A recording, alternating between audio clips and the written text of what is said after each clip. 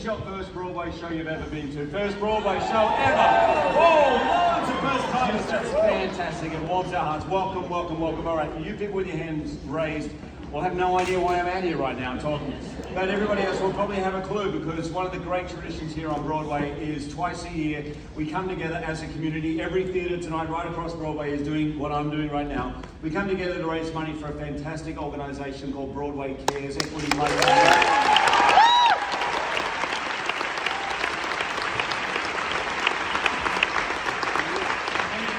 If you don't know what they do, they, they're just extraordinary. It's really a great privilege for all of us to be able to do this tonight for them because